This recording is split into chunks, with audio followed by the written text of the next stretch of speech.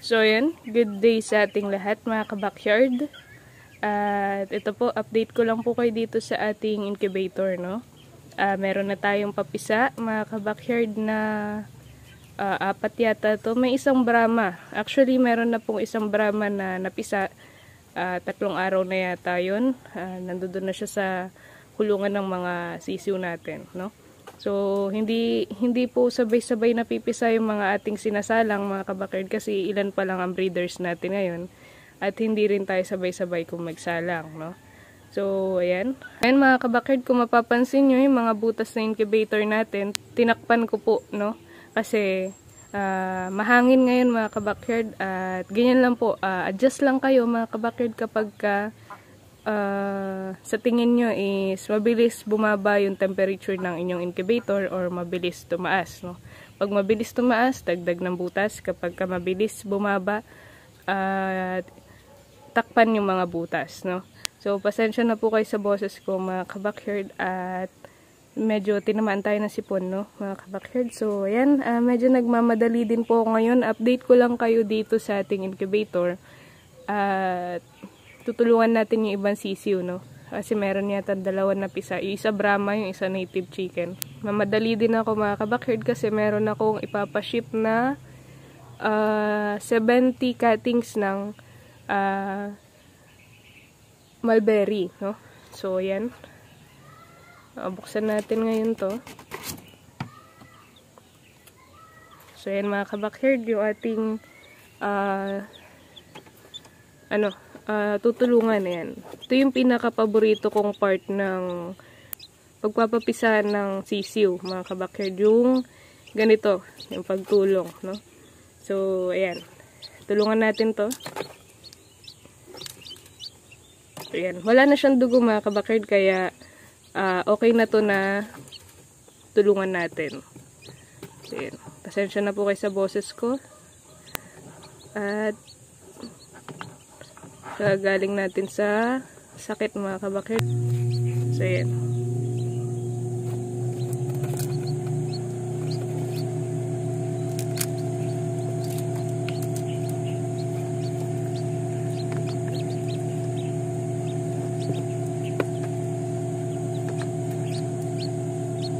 Isa na yung ulo nito.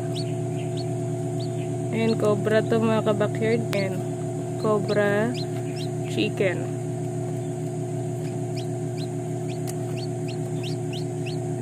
Natin. Lapit natin siya doon sa may ilaw para matuyo siya agad. So, yan yung pinanggalingan niya. And then yung ito, itong isa mga kabakherd Brahma to, no? So, ayan mga kabakherd, tulungan din natin to. Itong isang to, Brahma. Naipit na siya, no? Ano kayang kulay ng Brahma na to mga kabakherd? Ayan, bali nakadalawa na tayong papisa ng Brahma.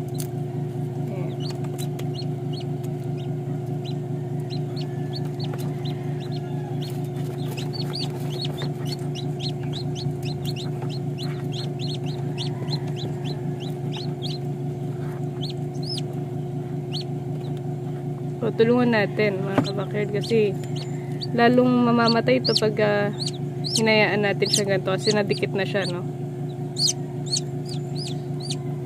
Hindi na ito makakalabas. So, ayan. So, ayan mga kabakerd, kaya tinakpan ko din yung mga ibang butas kasi kulang ng humidity yung ating loob na incubator. So, ayan. Kakulay niya yung yung nanay niya mga kabakyard. Ayan. Labas. Hayaan lang natin siyang lumabas dyan.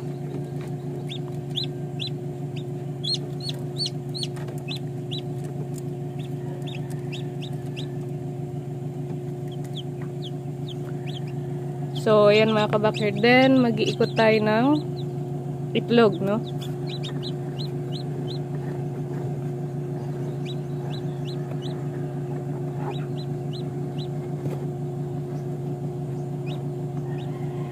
Uy, may nabipisa na rin dito mga kabakid. Ayan. Ayan po, nakita nyo nag-crack. Tagalan pa naman natin yung pagbukas. And, uh, Ito mga kabakyard, lilinawin ko lang po ah. Kabakyard, sabi mo, bawal buksan ng incubator kapag ka may napipisa. What I mean by bawal buksan mga kabakyard or yung sinasabi ko na huwag bubuksan. Kagaya nito, ayan na, binuksan ko na, no? Ang tagal. So, ito, may tendency to na malunod kasi nakalagay pa siya dyan sa shell. Pero once na binuksan mo siya, ayan, kagaya ng pagtulong ko sa mga yan, safe na yan mga kabakyard. Pero ito, may tendency to na mamatay kasi ang tagal natin nabuksan kung hindi po nag-ikot hindi ko to makikita na nagka-crack na no so may tendency to na mamatay so ang gagawin natin dyan mga kabakyard is ayan, tulungan natin no para ma-expose lang yung kanyang tuka sa oxygen ayan kasi Pag hindi, mga kabakid, malulunod to, no? Kasi tagal natin nabuksan. What I mean by wag bubuksan, mga kabakyard, hindi po kasi natin may pagkakaila, mga kabakyard, yung mga first timer na mag-incubate. Uh, lalong-lalo na kapag ka na-excite sila, pwede nyo pa rin pong buksan, mga kabakyard. Pero hindi yung parate, no? Kasi, uh, hindi po natin mapagkakaila mga kabakyard o madedenay na hindi po tayo ganon. Kasi once din naman po ako na nasa stage ng pag incubate na ganon ang ginagawa ko mga kabakyard. Dahil nga uh, first time ko mag-incubate, uh, first time ko makapagpapisa, no? Ang lagi kong ginagawa is lagi kong tinitignan yung incubator kung napisa na ba yung mga itlog na sinasalang ko or mga itlog na nasalang ko, no? So, ganon ang nangyayari. Laging binubuksan. Mayat maya, mayat maya binubuksan. Yun po yung hindi dapat mga kabakyard. Pero yung titignan mo, siguro twice a day mo siyang bubuksan, no? Pwede mga kabakyard. Huwag lang yung parate. Parate tapos matagal. So sana na-gets nyo mga kabakyard, no? Kasi may mga nakikita pong comment na, kabakyard, paano namin iikutin kung bawal buksan? Pwede po, no? Kung mag-iikot lang kayo. Pero kapag wala naman po kayong gagawin o bubuksan nyo lang, titignan nyo lang, wag po kasi yung hangin sa labas mga kabakird, papasok siya dito sa inyong incubator. Nangyayari sa mga sisiw mga kabakird is malulunod po. No? Kasi yung humidity sa labas, papasok mga kabakird din. Yung temperature na kailangan ng sisiw sa loob is lalabas. So nangyayari mga kabakird is nalulunod yung mga sisiw. So, ayan mga kabakerd, no? Uh, meron tayong iba't ibang uh, strategy or iba't ibang way ng pag incubate ng itlog, no? Uh, pwedeng sa akin palpak yung ganong way. Pwedeng sa inyo is kabisado nyo na yung ganong way. Uh, iba't iba mga kabakerd, no? Iba-ibang klase. Pati yung parang sa pagmamanok din yan, iba-ibang uh, way kung paano natin alagaan yung mga manok natin. Nasa sa inyo na po yan kung uh, sa tingin nyo sino yung uh, gusto nyo sundin or dapat mayroon lang po kayong isang susundin mga kabackherd kasi kapag uh, inadapt nyo yung iba't ibang klase ng pag-i-incubate ng itlog no, uh, malilito po kayo or maguguluhan kayo. Dapat stick to one lang kayo mga kabakerd. Isa lang na tao ang uh, susundin nyo. Kasi iba-ibang klase yan. Iba-ibang way. Kung sa kanila, sa tingin nila is ito yung uh, successful way ng pag-incubate ng itlog. Then, pag inadapt nyo yung ibang strategy ng pag-incubate ng itlog, pwedeng pag nag-mix yung dalawang yan is papalpak mga kabakerd. Kaya isa lang po dapat ang inyong susundin, no? So, ganun mga kabakyard. So, yan. Safe na yung dalawang uh, papisa natin. Then, meron pa tayong isa sa ilalim. Tingin ko lang. Kagabi pa po ito eh. Saan ba? Tumago na.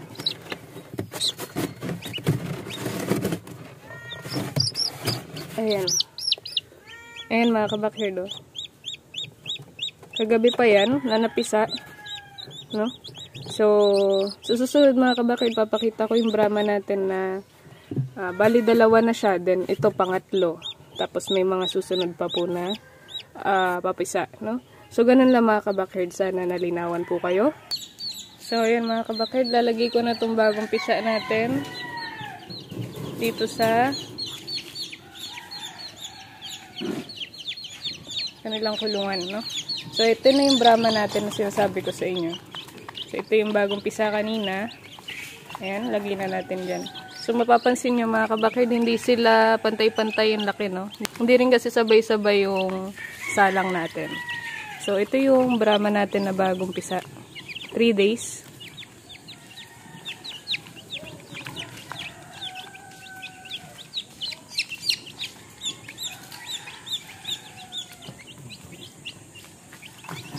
So, yan siya. Kita ko lang sa inyo yung kung paano kaya grabe yung balahibo niya sa paa. So, yan mga kabakir. Tignan nyo yung balahibo niya sa paa. Ayan. So, pag legit na Brahma, is ganyan po dapat ang balahibo sa paa, baby pa lang, no? Sisiw pa lang, ganyan, ganyan nakadami. So, itong bagong pisa natin, matuturuan yan na tumuka maya-maya. Diyan, maglagay lang tayo ng tubig dito.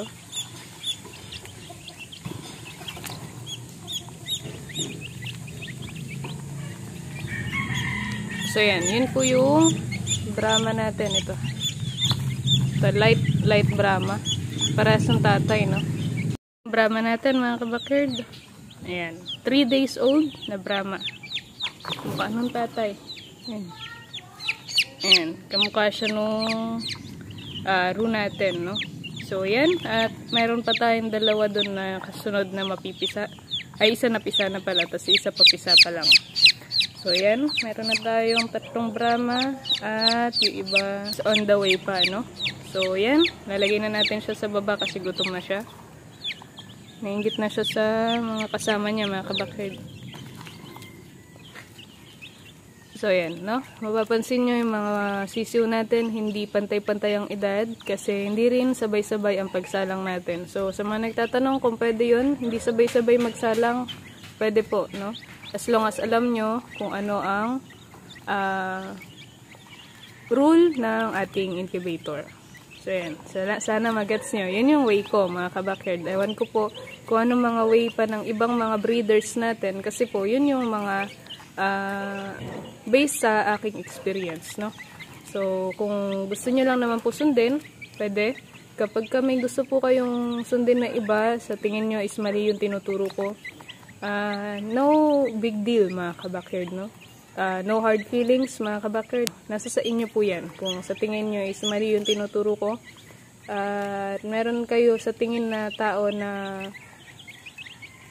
mas kapanipaniwala yung pagtuturo, pwede po, no? Uh, wala po tayong problema sa ganun. So, ito tinuturo ko lang kung ano yung uh, base sa uh, mga karanasan ko, no? Sa pag-intubate ng egg. So, different breeders, different way, mga kabakerd, iba-ibang klase, no? Uh, nasa sa inyo yan kung ano po ang susundin nyo. So, ngayon mga kabakerd is magpapaship na tayo ng uh, mulberry So, yun lang po sa ngayon mga kabakyard. Happy breeding and happy forming po sa ating lahat.